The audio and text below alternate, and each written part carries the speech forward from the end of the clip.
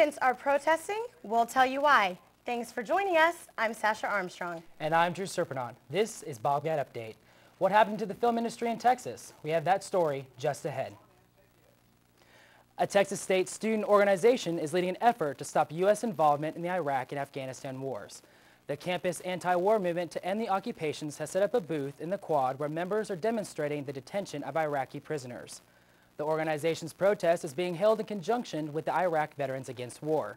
Former campus anti-war movement president Matthew Camp says the primary goal is to show that young people can organize to stop a war. The group meets every Wednesday at 7 p.m. at the Coffee Pot. The Texas film and television industry is currently under legislative review.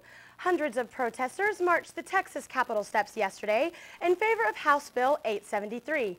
The bill offers incentives for people to engage in film production. Governor Perry says he wants Texas legislature to fund the $60 million bill to attract more film development projects to the state. The governor says the bill, if enacted, will boost the economy and help Texas be more competitive in attracting projects. Some San Marcos pet owners may be resting easy today. The City Council made the microchip pet ordinance that was proposed in February voluntary after it was protested heavily at the Tuesday night meeting. The ordinance would have made it mandatory for all pets to have a microchip implanted inside of it with their owner's contact information. The microchips help the city return lost pets to their owners, but many pet owners fear the microchips can cause health problems for their pets. The San Marcos Library isn't just for reading books. As Marissa Harold tells us in this Bobcat update, the library is also helping some learn English as a second language and prepare them for the GED. The public library offers many free services. To prepare for the GED, participants can take classes in reading, mathematics, history, and English. Not every library offers such a great opportunity for its patrons. Library officials say preparation boosts confidence. I think it's very necessary to be prepped, especially um, someone that's been out of school, you know, maybe as long as I have. The more removed a person is from the classroom and subjects studied, the longer it takes to prepare. The average prep time for test takers is three weeks. Although a lot of people need help, the number of staff members and volunteers isn't sufficient to accommodate everyone.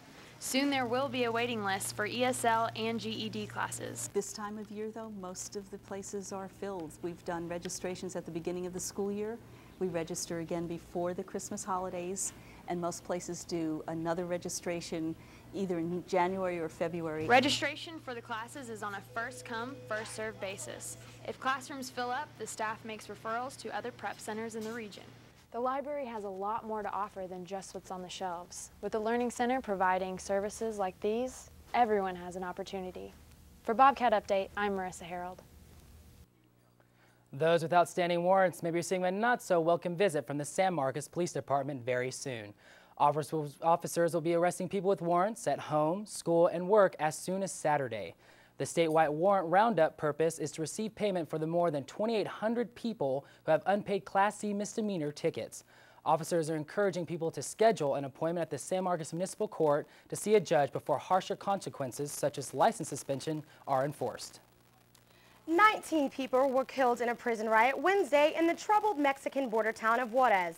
Prison officials say one prisoner is being treated at a local hospital. It took 200 federal police officers, 50 soldiers, two helicopters, and a plane to stop the riot. The high-security state prison houses many of Mexico's most dangerous drug traffickers. Juarez is across the border from El Paso, Texas. Border Patrol agents in Texas unveil a new high-tech beacon rescue device. Its purpose is to save lives along those who daily cross the U.S.-Mexican border. The trek from the Rio Grande Valley through the coastal bend of Texas can be treacherous for immigrants. About half of the immigrant deaths each year occur in the Falfurrias area, where agents have now placed two tall red beacons for those needing assistance can get help. When the beacon is pressed, dispatch, dispatch receives a signal to send to rescuers. Such beacons have been used in Arizona as well.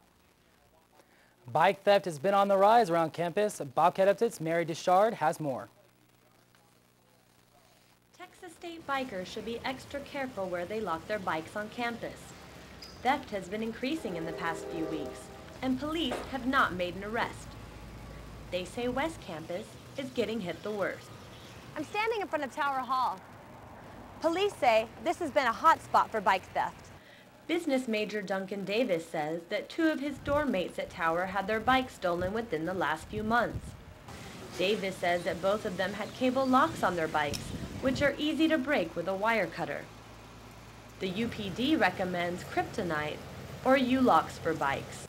And we recommend a, krypton, a kryptonite type lock so that it makes it much harder for the thief to uh, cut cut through the um, lock. Even if you think it's okay to leave your bike alone for a second, think again. One Texas State student learned the hard way. I left it outside my house um, and the next morning it was gone. If you're worried about your bike getting stolen, you can register it with the UPD's RIDE program. If interested, go ahead and look up your bike serial number and then go to the UPD website where you can register your bike for free. For Bobcat Update, I'm Mary Deshard. Up next, we have more info on the Bobcats' first baseball game in their new stadium. You're watching Bobcat Update. Stay tuned. Austin Pets Alive is a nonprofit organization that is dedicated to preventing the killings of Austin's adoptable dogs and cats.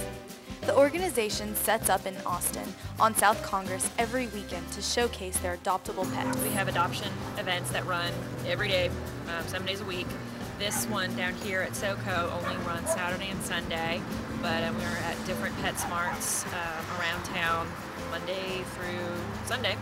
APA depends on generous donations from corporations, foundations, and individuals to fund their programs. Their mission is to find every adoptable pet a home and to make Austin a no-kill city. Pets can be adopted on location by filling out an application, undergoing a brief interview, and paying an adoption fee. For more information, please visit www.austinpetsalive.org. The Bobcats came close in a big game against a nationally ranked team Tuesday night, but they fell short on a victory, losing 6 to 8 against the Texas Longhorns. And as Kara Marshall tells us in the Bobcat update, fans packed the stadium not only to see an important game, but also to see the improved facility. Bobcat fans celebrated the opening of the new baseball stadium Tuesday. Expectations were high for the sold-out game against the number four ranked Texas Longhorns. Came out here to support the baseball team, um, check out this new facility we have. Um, excited about this year's. Many fans came out for tailgating activities from 1 to 4, including these guys.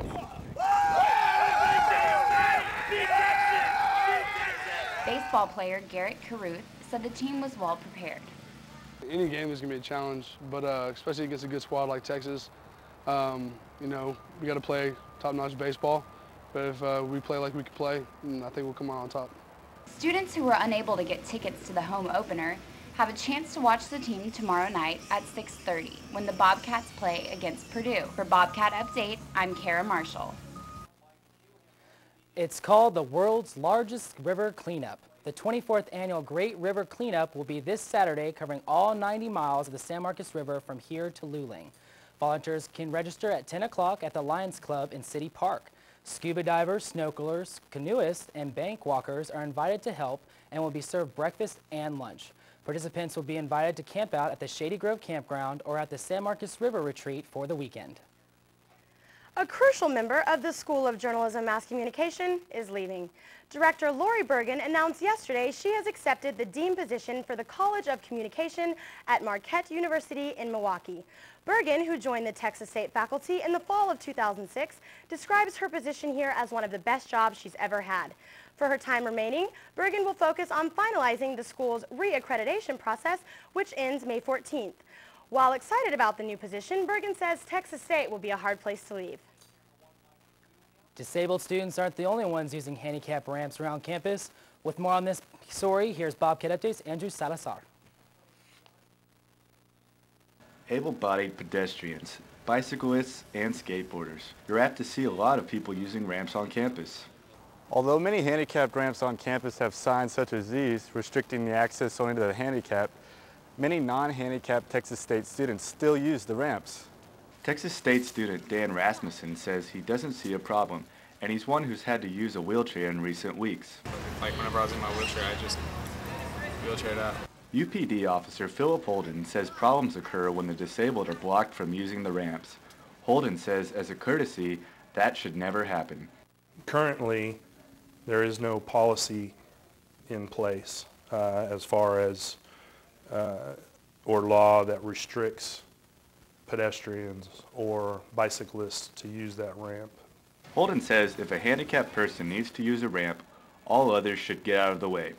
For Bobcat Update, I'm Andrew Salazar. Former First Lady Barbara Bush is recovering from heart surgery. The operation, taken as a precautionary step to replace a faulty heart valve, was done Wednesday at Methodist Hospital in Houston. Mrs. Bush went to the doctor after experiencing a shortness of breath last week. Physicians had detected the hardened valve and scheduled the surgery. According to the hospital, surgeons replaced the bad valve with a biological substitute. The procedure took about two and a half hours. Her cardiac surgeon says the surgery went extremely well and he expects a full recovery. S some West Virginia lawmakers apparently have something against Barbie. Yes, as in the Barbie doll.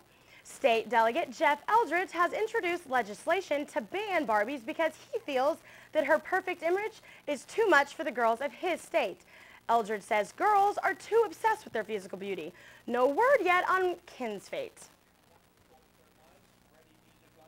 Well, I have to say, you know, Ken, what could happen? If he looks anything like you, Drew, I'm thinking he's probably going to be banned here in Texas as oh, well. Oh, well, thank you. It makes me feel a lot better to be in Texas then.